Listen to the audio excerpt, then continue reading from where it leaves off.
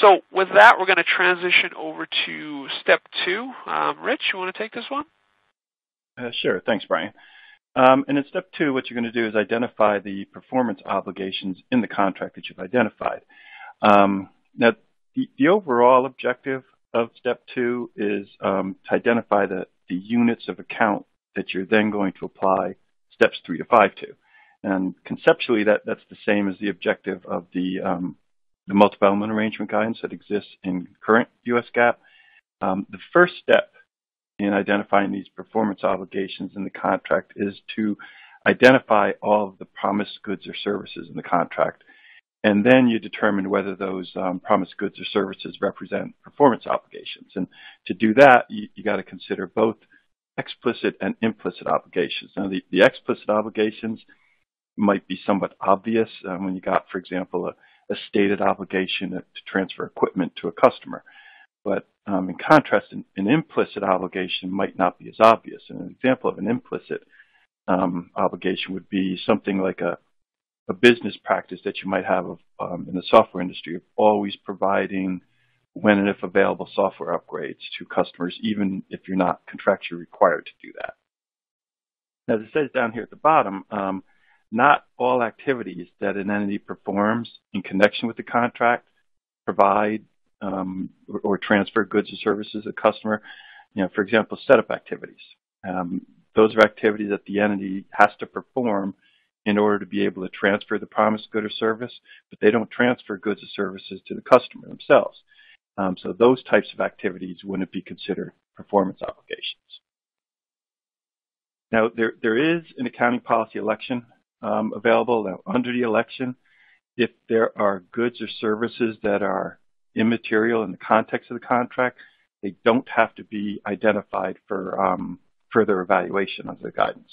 Um, now, the expedient does not do away with um, the requirement to, to evaluate whether there's any optional goods or services that represent a material right to the customer. That still has to be done. Um, but if an entity elects this um, policy election, then what they have to do is accrue the costs of the goods or the services that are immaterial in the context of the contract. Um, and then if the entity recognize that's you know if the entity recognizes the revenue before the goods or services are are transferred. Um, this issue is one of the ones that came up through the transition resource group that Brian was talking about earlier. The, the existing model um, contained guidance on inconsequential or perfunctory performance obligations, and you'd have some items that don't qualify as deliverables under the existing model because they're they're either inconsequential or perfunctory. Um, you might have a, a requirement to um, stand ready to answer questions about some consumer product because you gave out a, a telephone number a, uh, for a helpline or something. Or, or, maybe you have a promise to deliver an account statement to a customer. You promise to deliver additional copies of intellectual property that you've licensed to a customer after you've already you know, delivered the initial copy. So this policy election was added by ASU 2016-10 and the purpose of um, this policy was to, to be similar to that current guidance on the inconsequential or perfunctory deliveries. So if you do apply this election, you don't have to identify goods or services that are immaterial in the context of the contract. Also, you wouldn't have to evaluate the, the aggregate of all immaterial goods or services. Now, I mentioned that the election doesn't change the requirement to evaluate whether the optional goods or services represent a material right to the customer. There's specific guidance to determine if these options are, you know, are promised goods or services and based on whether the option provides a material right that the customer wouldn't get without entering into the contract. Now, this slide addresses uh, shipping and handling activities. And uh, under current GAAP, um, shipping and handling, generally, they're not considered a deliverable that you'd allocate revenue to, regardless of when it's performed. Now, there were some different views uh, as to the guidance in the original ASU 2014-09 on whether it would have um, placed a requirement on companies um, or to, you know, whether shipping and handling activities that occurred after control of the good was transferred, should that be identified as a performance obligation? And if it was a performance obligation, that means that companies would have to allocate revenue to the shipping and handling activities and defer that revenue until those activities were performed. Um, what ASU 2016-10 does is it, it makes it clear that these fulfillment activities that occur before transfer of control, so situations where the, the shipping turns a FOB destination, those are not promised goods or services, and, and therefore they're not um, performance obligations. Um, but 2016-10 amends the guidance so that um, entities have an election to make on shipping and handling activities that occur after control of a good is transferred. So companies can keep the model from today and, and treat the activity as a fulfillment, fulfillment activity, or they can treat it as a separate performance obligation, which would mean that they, they, would have to allocate some revenue to it.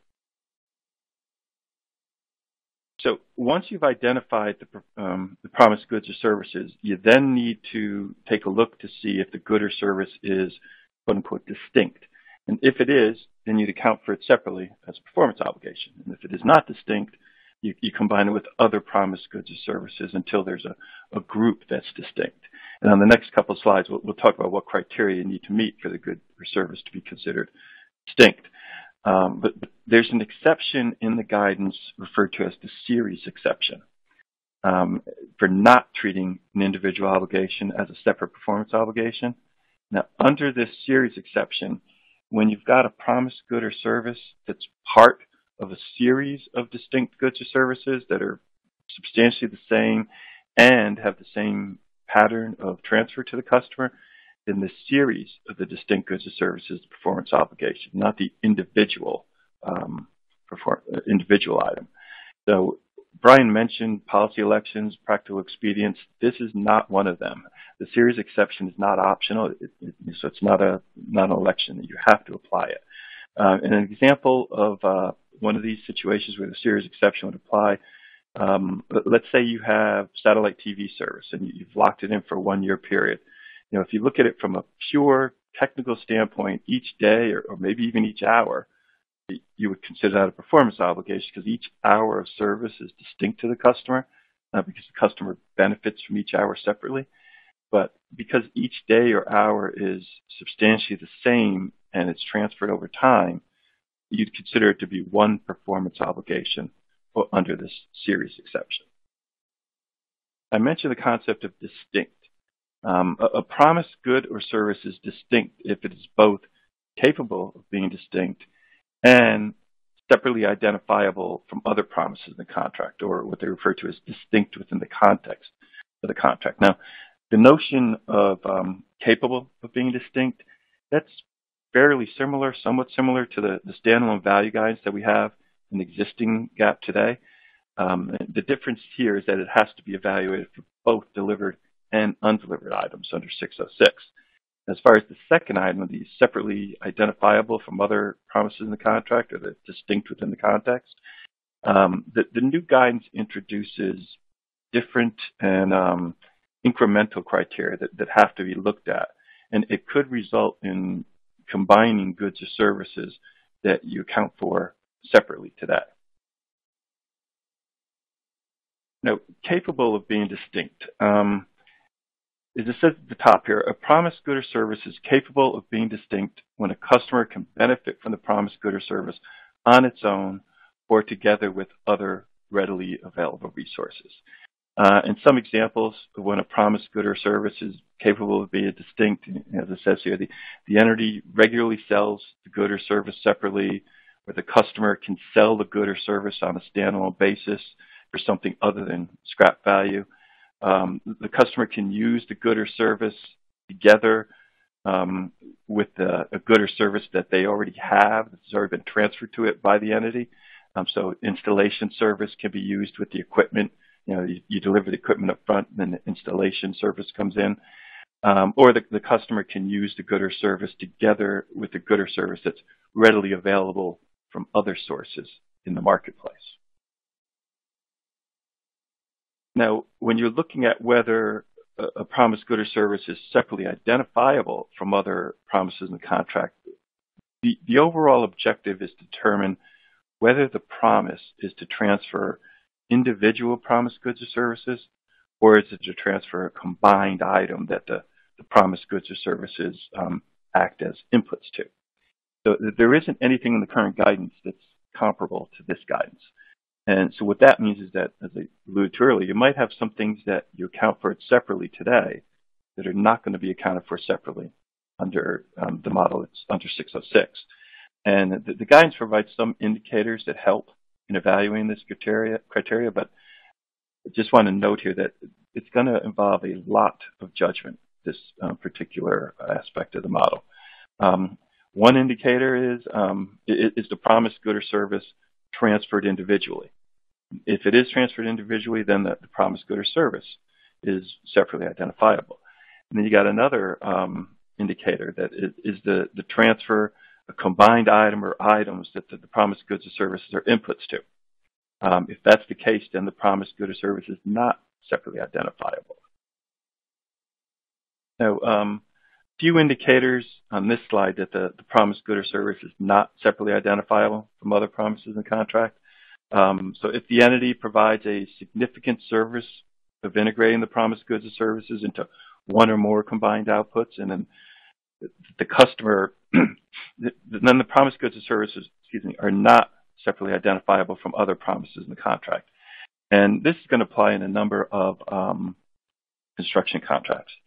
You know, for example, you have a general contractor that provides contract management service to make sure all construction tasks are being performed properly by subcontractors, and the, the general contractor takes on risks that are associated with the integration.